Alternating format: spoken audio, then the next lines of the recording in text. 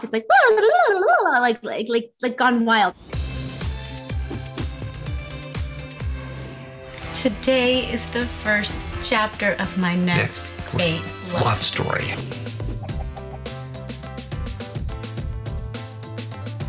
Well, first of all, I would love any of the cast of How I Met Your Mother to come on the show. And we may or may not have explored that in this season. But like Come on, Neil. I would love for Neil to come on the show. And it is on. Would love any of the girls to come on the show. It looked like fun when she did it, so I wanted to try. And then from my past projects, I would love Nico to come onto the show. I couldn't say no. Because there's so much dating involved, so many guys, like it would be really fun. And there was like a weird younger episode where they happened to kiss, but Kelsey could never do that to Liza. So that was never a thing. It would be fun. If you need anything, holler, neighbor. Okay, landlord. When her name got thrown out there, I was very, very excited. I want to tell you the story of how I met your father. She is like funny, witty, but classy.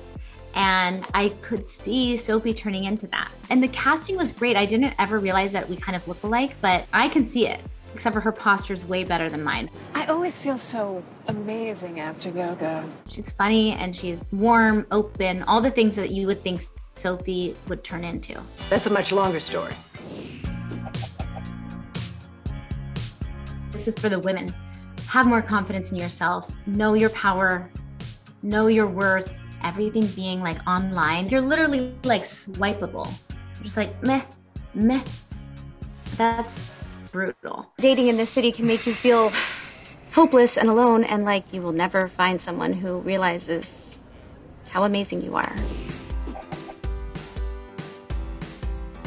The scenes with the full cast together in the bar is a lot of fun. We've have like an instant connection of respect and interest in one another. You know, we're, we're still shooting a TV show in a pandemic, so we wear masks until we're ready to shoot. But when we take our masks off, it's like like like like gone wild.